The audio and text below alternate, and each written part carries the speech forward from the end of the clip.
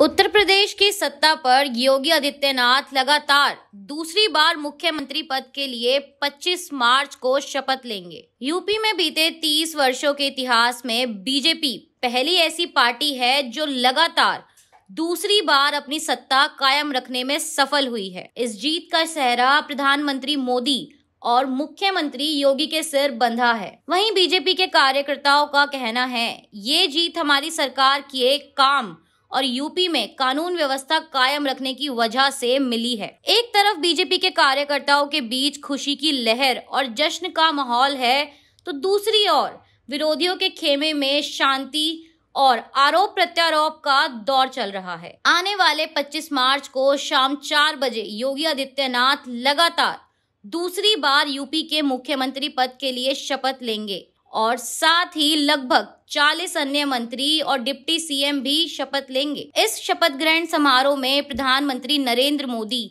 केंद्रीय गृह मंत्री अमित शाह, बीजेपी के राष्ट्रीय अध्यक्ष जेपी नड्डा, अन्य केंद्रीय मंत्री और साथ ही आरएसएस प्रमुख मोहन भागवत समेत बीजेपी शासित राज्यों के मुख्यमंत्री शामिल हो सकते हैं। इस समारोह में कांग्रेस अध्यक्ष सोनिया गांधी, राहुल गांधी समाजवादी पार्टी के अध्यक्ष अखिलेश यादव और पूर्व अध्यक्ष मुलायम सिंह यादव समेत बीएसपी की अध्यक्ष मायावती को निमंत्रण भेजा गया है। इस समारोह का आयोजन लखनऊ के अटल बिहारी वाजपेयी इकाना स्टेडियम में होगा। इस समारोह में पिछहत्तर हज़ार लोगों के शामिल होने की व्यवस्था की गई है। सूत्रों के मुताबिक स्वतंत्र देव सिंह और बेबी रानी मौर्य को डिप्टी सीएम का पद सौंपा जा सकता है। स्वतंत्र देव सिंह ने बीजेपी की जीत में अहम रोल निभाया है। वह बीजेपी सरकार में परिवहन मंत्री भी रह चुके हैं। वह कुर्मी जाति से आते हैं। वहीं प्रधानमंत्री मोदी अपने भाषण में कह चुके हैं कि इस चुनाव में महिलाओं का वोट उन्हें सबसे ज़्यादा मिला है। इसीलिए बेबी रानी मौर्य का नाम डिप्टी सीएम के रूप में साफ़ दिखता नज़र आ रहा है। राजनीतिक गलियारों में ये भी कयास लगाए जा रहे हैं,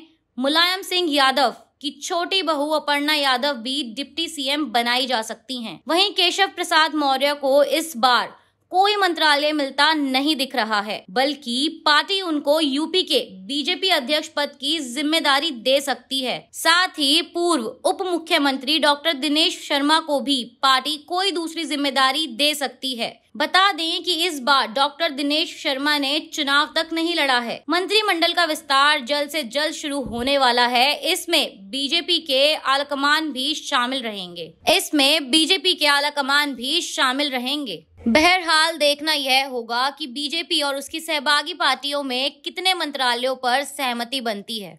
ऐसे ही और वीडियोस देखने के लिए सब्सक्राइब करें विजन को।